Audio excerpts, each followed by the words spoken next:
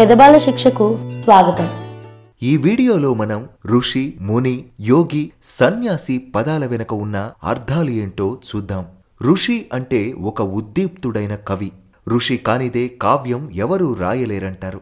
Non ఋషి కురుతే కావ్యం. ఆంగ్లంలో ఈయన్ని సేజ్ అని సీర్ ద్రష్ట అని కూడా అంటారు. ఈయన పవిత్రమైన రుక్కులను శ్రావ్యంగా రాగయుక్తంగా గానం చేస్తాడు కూడా.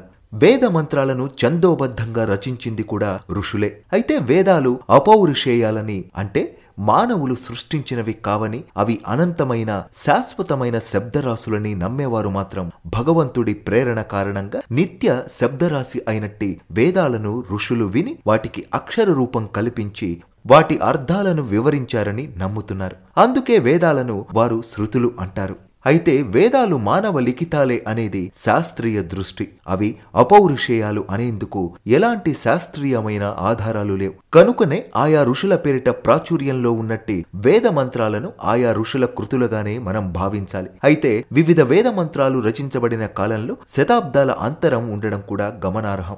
ఆయా ఋషులు వేల వేల సంవత్సరాల పాటు జీవించి ఉండడం అసాధ్యం. కనుక వేల సంవత్సరాల అంతరం ఉన్న ఆయా వేద మంత్రాల యొక్క కర్తలు అదే వ్యక్తులు అని కాక ఆయా వంశాలకు చెందిన వారై ఉంటారని మనం గ్రహించాలి ఇక్కడ.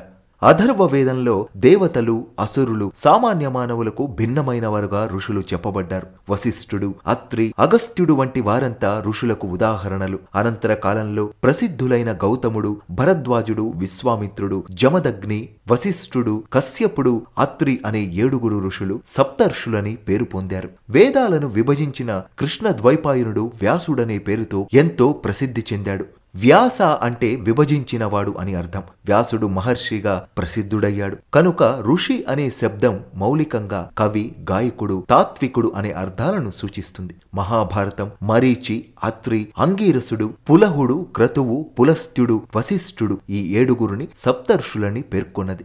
మనువు సప్త ఋషుల పేర్లకు దక్షుడు ప్రచేతసుడు భృగువు నారదుడు అనే నలుగురిని చేర్చి వారిని ప్రజాపతులు అని పిలిచాడు. దేవర్షి బ్రహ్మర్షి రాజర్షి మహర్షి పరమర్షి శృతర్షి కాండర్షి అనేవి ఋషులలో కొన్ని తరహాలు. ఏ తర్వాత ఋషి అనే పదం ఏకకాలంలో కవి జ్ఞాని తాత్వికుడు గాయకుడు అయిన వ్యక్తిని సూచిస్తుంది. ఇక ముని అనే పదం వెనుక ఉన్న విశేషాన్ని చూద్దాం. ముని శబ్దం ఒక పవిత్రమైన సాధువు భక్తుడు సర్వసంగ పరిత్యాగిని సూచిస్తుంది. ముని అనేవాడు ఆత్మమరణశీలుడని పేర్కొనబడ్డాడు.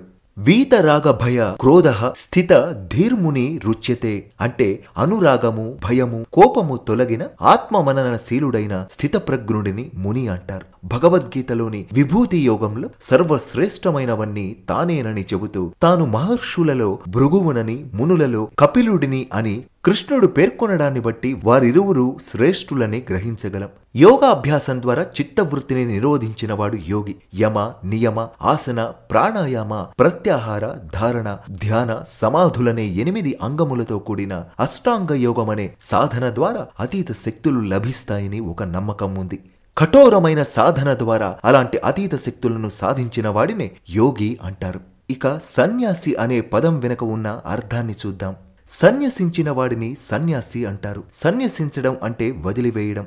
సన్యాస శస్త్రుడు అంటే ఆయుధములను విసర్జించినవాడు అని అర్థం. సంన్యస్తాభరణం గాత్రం అనే ప్రస్తావనలు మన సాహిత్యంలో ఉన్నాయి. సన్యసించుట అంటే ఈ ప్రపంచాన్ని దానిలోని సకల వస్తు సంచయాన్ని విసర్జించేవాడు సన్యాసి అనబడతాడు. భారతీయ చతురాస్త్ర ధర్మాలలో ఇది నాల్గవది అంటే చివరిది. బ్రహ్మచర్యం గృహస్థ్యం వానప్రస్థం దీని ముందరి మూడు దశలు. ధృతి క్షమం దమం అస్తేయం శౌచం ఇంద్రియ నిగ్రహం ధి విద్య సత్యము అక్రోధము అనే పది ధర్మాలను అలవరుచుకున్న ద్విజుడు మరణానంతరం ఉత్తమ గతిని పొందుతాడని మనుస్మృతి చెప్తుంది. వేదాంతంలోని ఉపనిషత్తుల అర్థాలు క్షుణ్ణంగా తెలుసుకొని ఒక గృహస్థుడైన ద్విజుడు మూడు విధాలైన రుణాలను తీర్చివేసిన తరువాతనే సన్యసించాలని మనుస్మృతి పేర్కొంది. ఋషి రుణం దైవ రుణం పితృరుణం అనే మూడు రుణాల నుంచి విముక్తుడయ్యాక మాత్రమే ఒక ద్విజుడు సన్యాసాశ్రమాన్ని స్వీకరిస్తాడు.